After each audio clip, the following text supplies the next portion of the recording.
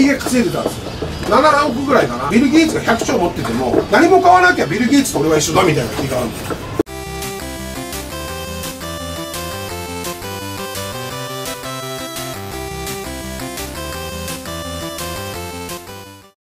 監督時代の話聞きたいよお前の辛そうな顔。まずやりたいと思ったことは一回もないんですよ。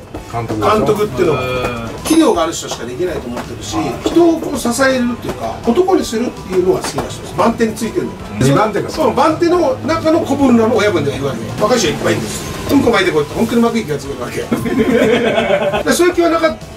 その時は楽天戻る時はさライオンズで問題を起こしてクビになったのね。もう二度とプロ野球がいいと。自分ではその時いいと思ってやった指導法が全面的に悪くなるようになったから俺はいい優勢の事件だよな。そう、その時の優勢の事件何がダメだったの？結論を言うと俺が悪いんですよ。その指導法が正しいと思ったけどどういう指導法？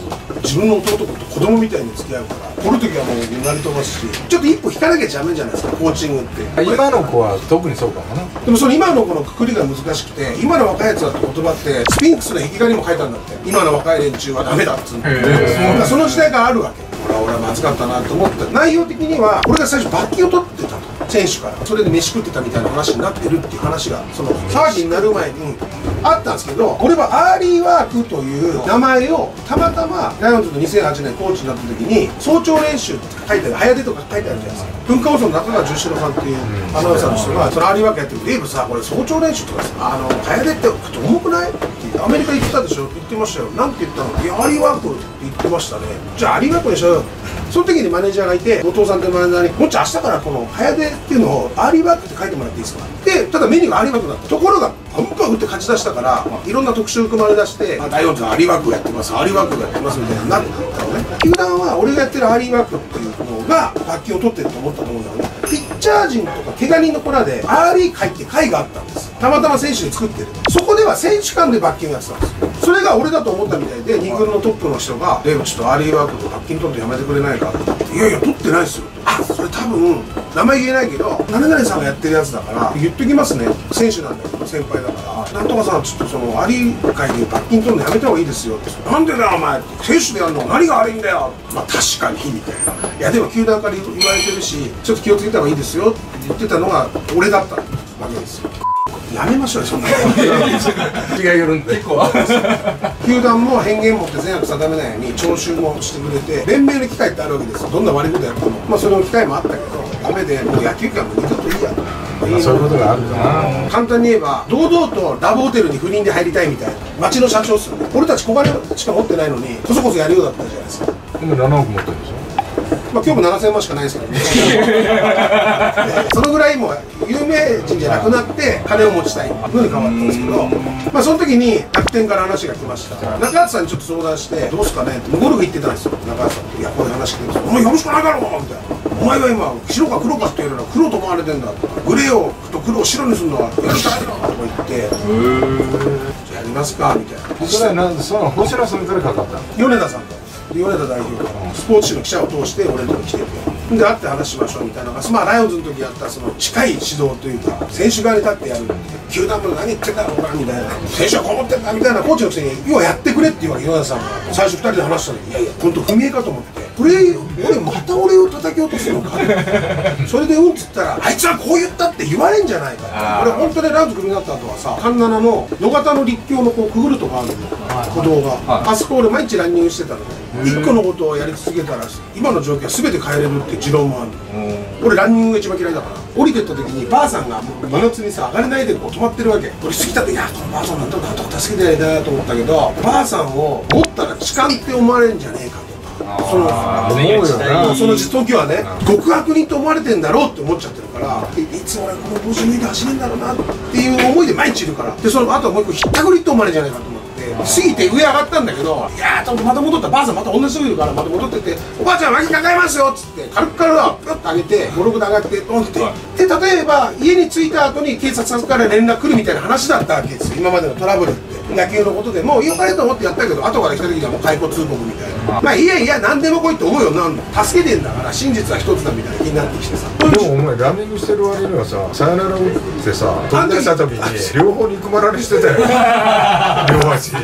それはもうね今もこれが知ってるんですけど、まあ、知り合いの店の前とかこう通ってくるわけじゃないですか。みんな「デーブさんこの間ウォーキングしてたね」って言って「あおかみさんランニングです」で草出るでしょ「デーブさんこの間歩いてあの歩いてたね」こちらどういや走ってるまあそのスピードのガラガラ引いてるばあさんいいんじゃないよしあのばあさんは簡単に抜けると思っても3分ぐらいかかるから見えてる 結構かかります最悪は宅急便のリアガン抜かれたから。リアガンそれぐらいのスピードだから片方が横に蹴ったら肉までにするんですよ。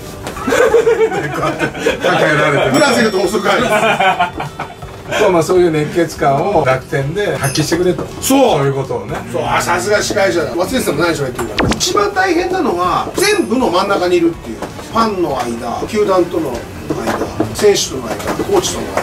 その中のみんな言いたいことがある中のを彼が別出しなきゃいけない。よくみんなこう三木谷会長からメールが来てっていう。実は戦略室っていうのがあって戦略室に三木谷会長の仲のいい東大の人が入ってて実際楽は楽なんですよ。そのデータを出してくれるから。今のうちの打線の流れだと簡単に言えばペーニャが出塁率は4割何分あるけど得点圏打率が1割しかない。だったら早めに塁に出しておいて一番得点圏打率のいい松井数をその後ろに置いとけば点が入りやすいんじゃないかっていうのを出すから。根拠を元に言ってくるそうそうそう会長も野球好きだから今日のゲームどういうプランでいくの？みたいな。こういうプランでいきたいって言うんですけど例えば見てくれた？みたいな。急な話しましょうよえ？初めて来た？全然早い。新潟からわざわざ来たの。え？いいすごい。新潟？それ新潟住んでるのが悪いんだよな。んでびっくりしちゃったそりゃそうです。よ新潟から来てわざわざ来た。来なくてもいいよ別にって話俺なら言わないからわざわざ来たんですよ。なるほど。俺の考えは例えば球団もやってもらってるやっていただいてる俺もやらせていただいてるで気持ちよくいけるでしょ、これもそうですよね。豊ちゃんが全部やってくれよ。いや俺もやらせてもらいますよ。って言うんで気持ちいいわけじゃん。で豊ちゃんがやってくれよって言われてもいやいや別にやんなくていいでしょってなっちゃうし俺もやってやってんじゃんっつって何お前みたいにならないのがいいわけじゃん。そうお客も来てやったんだよっていうのはいいよじゃあ来なくて。俺骨折じゃねえんだよそういうので言うとそのまあ一緒だよね。逆に戻すと監督っていうのは 一緒なの。で俺は会長もいいっていうものをやってみようよって一緒なんですよ、散々叩かれた俺でも俺の話を代表から聞くよ俺と直接話するとちゃんとしてるじゃない。って例えば PDCA なんて言葉を野球でなかなか使わないけど俺は全部一緒だと思ってるからブランドチェックアクションってその PDCA サイクルをこう使っていくと必ずデータが残ってるわけ。産業日記って良かったこと悪かったこと明日何するかっていうのもすごい残ってる。じゃあみんな2人がストレス10個言え言えないってことは自分が分かってないってことなわけ。でものすごい嫌なストレスって簡単に女に振られそうだとか。でも10個出してみるとこの女に振られそうが軽くなるわけ。自分を知っとくっていうのをやっておくとやっぱいいですよね。だから球団としてもそういうシステムいるんじゃないですかみたいな。会長いいやろ。うよって言うと俺みたいな。何の実績もないやつでも関係ないの会長。いや監督やっちゃいないみたいになったんだと思うだから全然会長には感謝してる。お前も悩んでたな。悩みました受けるかどうか。そう。悩みましたよ絶対来ると思ってたからもう俺絶対親父から絶対俺だと思ってたし。でも引き受けたまあその時は一軍の監督の代行の代行をやるってなった時のオーナーから連絡が来て「テレビやって」みたいな「いやでも会長あの星野さん監督に連絡来たしいいじゃん俺がオーナーいやそこは違いますよやっぱ僕も筋は正しかった。で親父に電話して「親父こう会長がこう来たんです行ってこい行ってこい頑張ってこい」で「ありがとうございます」って会長にやらせていただきます。その夜朝方も飛ぶわけです仙台まその筋は外したくなかったしでも流れ的にはもうやるようだなみたいな辛い顔してたなお前。器量がないからそう。器量ってさこのグラスってでかさ決まるじゃん、こんな持てないじゃん。どんなちっちゃくてもこぼれんの拾ってくれるのは器量だと思って。るだから簡単に言えば失敗したことを受け取ってくれるやつじゃん。でお前らギャグ滑ったの。じゃあお前準備はしたのか？しました。親に実行しました。で検証してまた実行したけどまたやりました。じゃあもう一回やりゃいいじゃん。みたいな人じゃない。やれる人ってあんたびさお前何やってんだこの野郎なんて打ち合わせもしないで言われてたらどこ頑張んの？結果論には勝てないでしょ？滑ったことに文句がだって。だからそういうのも実際は野球もあるわけ。結果論で文句を言われること俺も辛いのよ。いやいや勝負事は結果なんだから。ね。な俺は辛かったねでも監督やってるのとこういう店とか収入的にはどっちがいい？今の方がいいっすね。あ今の方がいい。そうなんですか？俺安かったから。年俸4500万っす。監督のそうじゃあ一番低かったの一番。です田辺が5000万って話だね西武の。そう。金じゃないっすよね。まあ金じゃない。名誉職だからそれでここも月500ぐらいあるからそれで超えちゃうんですよ。純利益って言えばですよ粗利で言ったらそれはもう年俸のもらった分だけ税金払ってあとは会社入るわけだからいいけど売上的にはここの方があるんですよ一番いいのは結局監督も雇われなわけですよ。巨人の監督も雇われてる。ここは俺がオーナーなわけ。これが気持ちがいいわけよ。明日から炒めししちゃうよってなるんだ。もん思うよ例えばね。そう。俺在日なの知ってる？イタリア人。え？顔でわかんない？ちょっとすいません。いやモンゴル系がなんだ。よそうですか？これイタリアっていうのは。そうだよ。顔でわかんだろお前。こんだけ俺がかじゃお前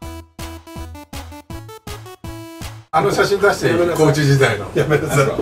バカっすかそれロロボコン。ロボコンみたいな。